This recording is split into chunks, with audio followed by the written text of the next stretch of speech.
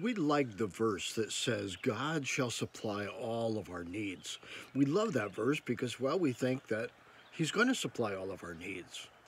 But I want you to think about something. Remember Paul? Paul had that thorn in his flesh and he asked God to remove it, and God said, No, my grace is sufficient.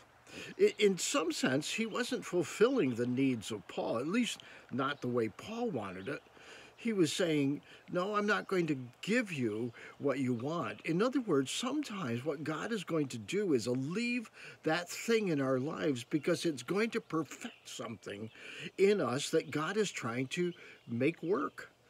We don't like that all the time. We don't like the fact that we have to deal with impatience or anger or other issues going on in our lives. We don't recognize that the hardships that we're going through may be there to help us grow and to become something that otherwise, without it, we wouldn't be. We're too quick to, well, to try to get things out of our lives, to make our lives peaceful and uh, tranquil. But is that what God wants in us? God wants us to be warriors, to be ambassadors, to be His witness, to be His children, to represent Him. And that means that we will go through things that will well help to shape and form us into whom God is creating in us. And that isn't always what we want.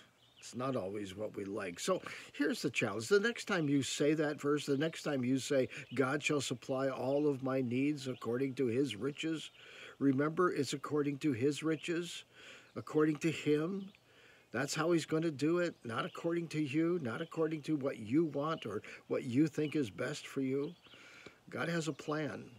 And that plan doesn't always include your comfort. Think about that today, would you? Hey, until next time, God bless.